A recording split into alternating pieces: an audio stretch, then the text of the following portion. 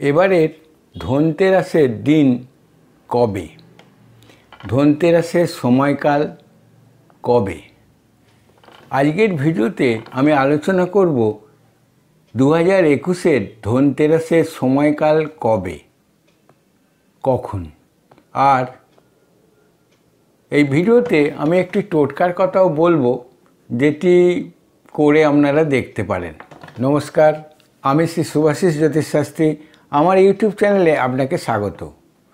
অনেকের আর্থিক সামর্থ্য থাকে না কোনো রূপার জিনিসপত্র কেনার, কোনো সোনার জিনিসপত্র কেনার বা কোনো ফার্নিচার কেনার।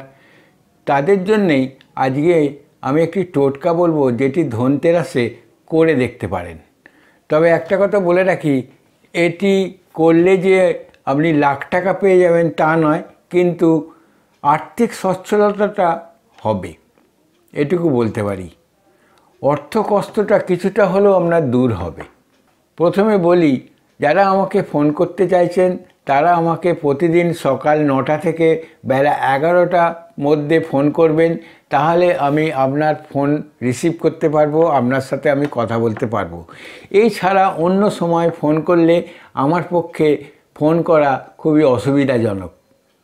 আর যাদের সকালবেলায় ফোন করা অসুবিধে তারা শুধুমাত্র শনিবার দিন রাত্রির আটটা থেকে রাত্রির দশটা পর্যন্ত ফোন করতে পারেন।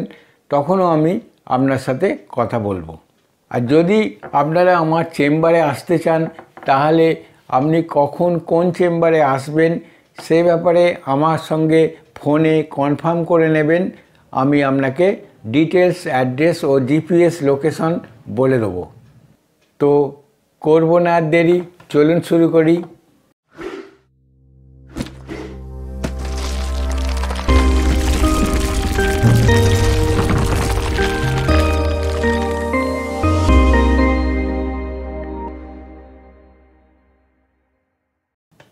এবারের ধনতেরাসের দিন পড়েছে দোসরা নভেম্বর দু হাজার একুশ সাল। এবারে ধনতেরাসের দিন পড়েছে দু হাজার একুশ সালের দোসরা নভেম্বর মঙ্গলবার সকাল আটটা পঁচিশ মিনিট থেকে পরের দিন, অর্থাৎ তেসরা নভেম্বর সকাল সাতটা চার মিনিট পর্যন্ত। এই সময়টুকুই ত্রয়োদশী থাকছে। দোসরা নভেম্বর দু হাজার একুশ সালে মঙ্গলবার দিন বিকেল পাঁচটা সাঁত্রিশ থেকে রাত্রির আটটা এগারো মিনিট পর্যন্ত শুভ মুহূর্ত কিন্তু থাকছে। আর ধনতেরাসের পুজোর মুহূর্ত, পুজোর শুভ মুহূর্ত থাকছে সন্ধ্যা ছটা আঠেরো মিনিট থেকে রাত্রির আটটা এগারো পর্যন্ত। দোসরা নভেম্বর দু একুশ, মঙ্গলবার দিন। তো এই সময়ের মধ্যেই আপনারা কেনাকাটা করতে পারেন, কোনো অসুবিধে নেই। যে কোনো জিনিস ক্রয় করতে পারেন। কি ক্রয় করবেন, কি করবেন না, এবং এই ধনতেরাসের দিন কি করবেন এবং কি করবেন না, সেটা কিন্তু আমি আমার আগের ভিডিওতে বলা আছে, সেটা আপনি আমার আগের ভিডিও দেখলে বুঝতে পারবেন। আগের বছরে আমি একটি এই নিয়ে ভিডিও করেছিলাম, সেই ভিডিওটি আপনারা দেখে নিন। আগের বছরে আমি যে ভিডিওটি করেছিলাম দু কুড়ি সালের ধনতেরাস নিয়ে ধনতেরাস কি কীভাবে এলো এবং সেই ধনতেরাসের দিন কি কি করা উচিত, কি কি কেনা উচিত, কি কি কিনবেন না, সেই নিয়েই আমি এই ভিডিওটি করেছিলাম, সেটি আপনারা দেখে নেবেন। সেই ব্যাপারে আজকে আমি আলোচনা করছি না। আজকে আমি এবারে আসছি টোটকাটির বিষয়ে। ধনতেরাসের দিন, যেদিন ধনতেরাস পড়েছে, অর্থাৎ দোসরা নভেম্বর মঙ্গলবার দু হাজার একুশ সাল। সেই দিনে আপনি তিনটে জিনিস জোগাড় করবেন।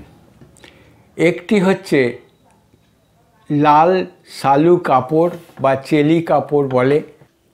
এটা আপনি দশকর্মার দোকানে পেয়ে যাবেন লাল রঙের একটি কাপড়ের টুকরো। আর লাগবে পাঁচটি দুব্বা ঘাস। মানে যাকে আমরা দুব্ব বলি, সেই দুব্ব ঘাস পাঁচটি লাগবে, পাঁচটি। পাঁচটি দুব্ব ঘাস আপনি সন্ধ্যের সময় তুলে আনবেন। আর একটি জিনিস লাগবে, সেটি হচ্ছে একটি পাঁচ টাকার কয়েন। এই পাঁচ টাকার কয়েনটাই কিন্তু লাগবে, পাঁচ টাকার কাগজের নোট হবে না, পাঁচ টাকার কয়েনই লাগবে।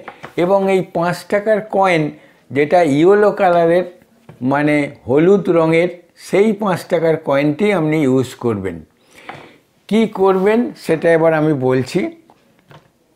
একটি শালু কাপড় নেবেন, সেই শালু কাপড়ের ওপর আপনি পাঁচ টাকার কয়েনটি রাখবেন, তার উপরে আপনি পাঁচটি দুব্য রাখবেন। তারপরে একটু গঙ্গা জল ছিটিয়ে দেবেন। কি করবেন? এবার আমি সেটা বলছি এইগুলো আপনি লক্ষ্মী দেবীর পায়ে অর্পণ করুন, পুজো করুন, এইগুলো নিয়ে।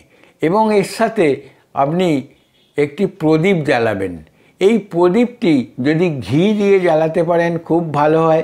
যদি ঘি দিয়ে জ্বালানো সম্ভব না হয়, তাহলে কিন্তু আপনি যে কোনো তেল দিয়েও জ্বালাতে পারেন। যতক্ষণ এই সময়কালটি থাকছে, এই পুজোর মুহূর্তটি থাকছে, অর্থাৎ ছটা আঠেরো মিনিট থেকে রাত্রির আটটা এগারো মিনিট পর্যন্ত এটা জ্বালিয়ে রাখবেন। এবং এই সময়ে শালু কাপড়ে রাখা পাঁচ টাকার কয়েন ও দুববাটিও অর্পণ করবেন। তারপর পুজো হয়ে গেলে এটি আপনি বেঁধে ফেলবেন। কোনো হলুদ সুতো দিয়েই বাঁধবেন, সেটি সবচেয়ে শুভ। হলুদ সুতো দিয়ে বেঁধে এটি আপনার ঘরে কোথাও রেখে দেবেন। আপনি আপনার ক্যাশ বক্সে রাখতে পারেন, আপনি আপনার কোনো বাক্সে বা আলমারির মধ্যেও রাখতে পারেন, কোনো অসুবিধে নেই। এটি কিন্তু আপনাকে রাখতে হবে এক বছর।